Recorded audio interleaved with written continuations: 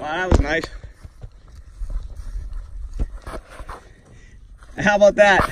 She hit that bird like that, and then Sadie was in the water tank. Now she's honoring. That's ridiculous. That is funny.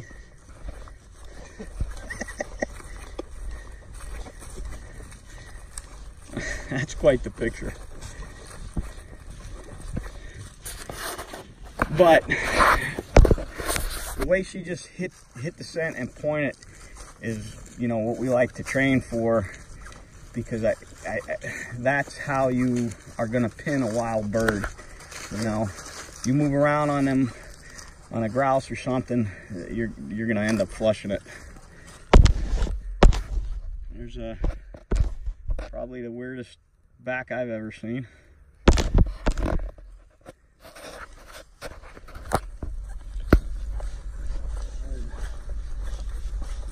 Bird here.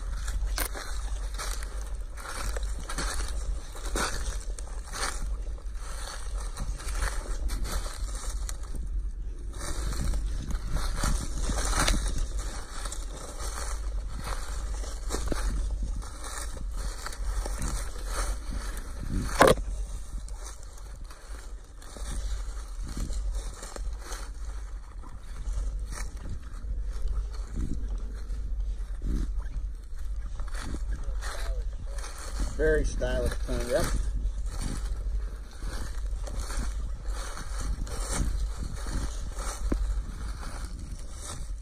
Now, in a, a field trial, I certainly need to find the bird now. And again, we know the bird's here.